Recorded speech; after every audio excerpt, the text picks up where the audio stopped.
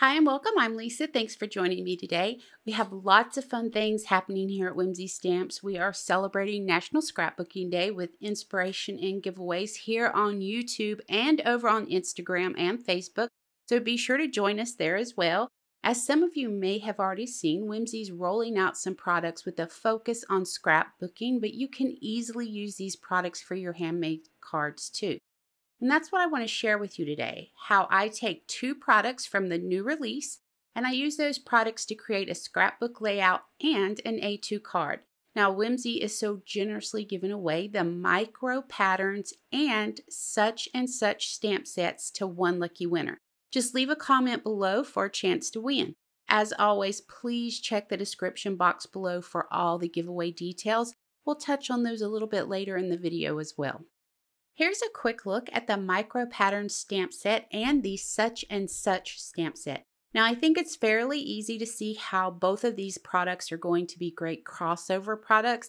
The micro patterns is a 4x11 stamp set and the such and such is a 4x6 stamp set. I'm going to go ahead and get us started with the projects by stamping three of the patterns from that micro pattern set. I'm using straight stripes, the wavy stripes, and a stars pattern. I'll be stamping these with Memento dye inks in the colors Ladybug, Summer Sky, and Nautical Blue. I'm going with a patriotic theme with this. I've printed out three old photos of my husband in his time in service. I'm going to be using those today. Now, while I stamp these out, let me give you a few details on the giveaway for this video. You just need to leave a comment below for a chance to win that new micro patterns and such and such stamp sets. I'll leave commenting open until May 7th at 11:59 Eastern Standard Time, that's PM. I'll pick a random winner using a random comment picker and I'll post that winner in the description box below on Monday, May 10th. Now, I will also respond to your comment letting you know you've won. Now that I'm done stamping the patterns, I'm taking them to my paper trimmer. First, I want to trim away the excess from around each of these patterns. Then I'll cut each pattern into two or three strips. Now the width doesn't matter so much for the scrapbook layout. I think a few different sizes looks best for this layout. All right, I'm ready to start bringing this layout to life. Now I'm using Neenah Avalanche White 8.5 by 11 110 pound cardstock. I've used removable tape, this is Scotch removable tape, to temporarily hold that T-ruler in place so I can line the pieces up straight down the cardstock. And this is where the card maker me starts struggling a little bit because I love to add dimension to my projects. Um, I'm not sure what the rules are on using 3D mounting foams when you're scrapbooking, but today I'm going to throw any rules out the window and I'm just going to do what makes me happy. And mounting foam definitely makes me happy. If you've ever seen me make a card, you know I love my mounting foam. So, of course, you can always skip it and adhere these straight to the page if you want.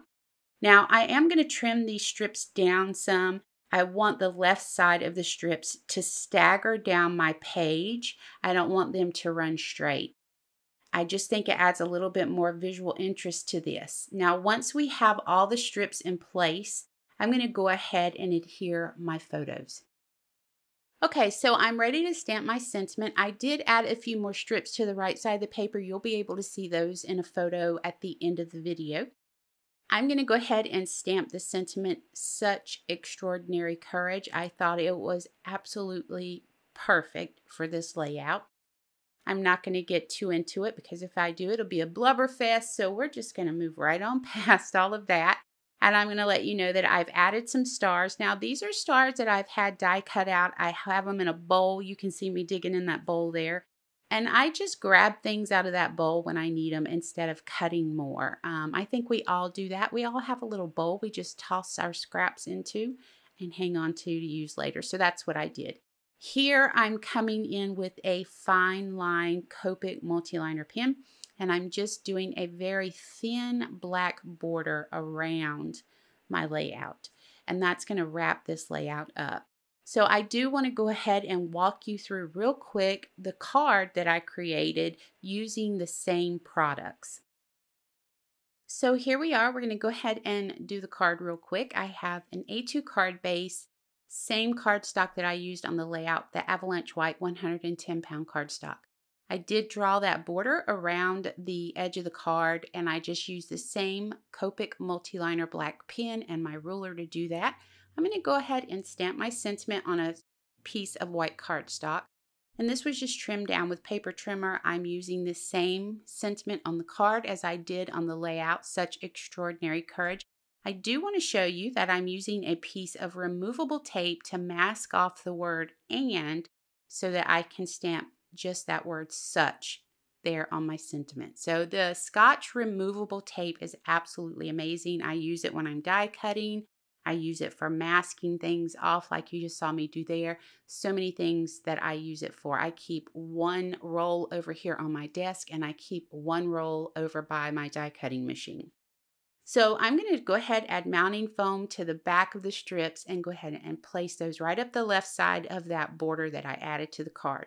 You're going to notice that these are all the same size, not in width, but in height. And I thought that it looked a little bit better on the card when they were all the same size climbing up the side of the card there. Now, once I do this, I'll go ahead and take one of those tiny little black die cut uh, stars that I have in that bowl and add that right beside the sentiment. And that's pretty much going to wrap us up on the card and the layout. Don't forget to leave a comment down below for a chance to win the Micro Patterns 4x11 stamp set and that such and such sentiment stamp set. Here, I do want to give you a quick tip. If you're doing a border around any of your projects and you end up with a little tail running past your the lines that you have there, just use your white gel pen and go over that little tail and you'll never even notice it. So that's just a quick tip. Again, don't forget to leave your comment for a chance to win. You have until May 7th at 11:59 p.m. Eastern Standard Time to leave a comment. Also, please share this with your crafty friends. It helps us out on the channel when you share. Um, and let me know what you think of the scrapbook layout and the card. I love to read you guys' comments and interact with you all. As always, everything is linked below for you. You can head over to the Whimsy Stamps website to check out the products. They are available in the store today. As always, please know how much we appreciate you taking the time to join us. And until next time, take care.